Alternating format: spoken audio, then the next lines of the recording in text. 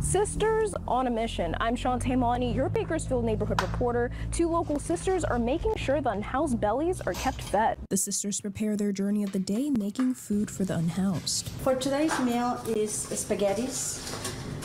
We are doing this um, once a week.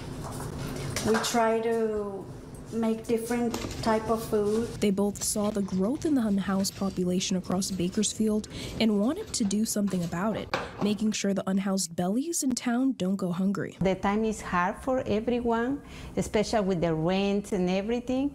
So we we um, do this to the people who have at least one meal for once a week. They prep meals such as hot dogs, sandwiches, or spaghetti and drive around town as they see more need around the areas of Union, Ming, and Chester. Try to find them because they they move from places and not a lot of people does that, but we feel that it's the more efficient way to to look for them and, and feed them.